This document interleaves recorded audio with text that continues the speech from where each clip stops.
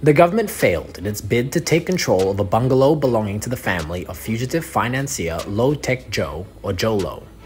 High Court Judge Mohammed Zaini Mazlan today rejected the government's bid to forfeit the 15 million ringgit three-story bungalow at Tanjung Bunga Park, Penang, as well as money kept in three Hong Leong bank accounts.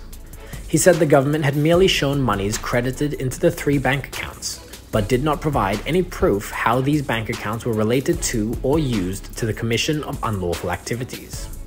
Zaini also said that the relationship between Low's mother, Goh Gaik Ewe, who is the 13th respondent, and the characters and entities in 1MDB was conspicuously missing.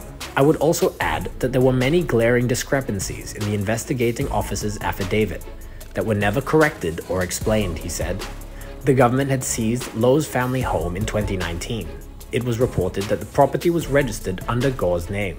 It then filed a forfeiture application seeking to take control of the bungalow. Gore and her husband, Larry Low Hock Peng, have been named by Bukit Aman as persons of interest in connection with the 1MDB investigations.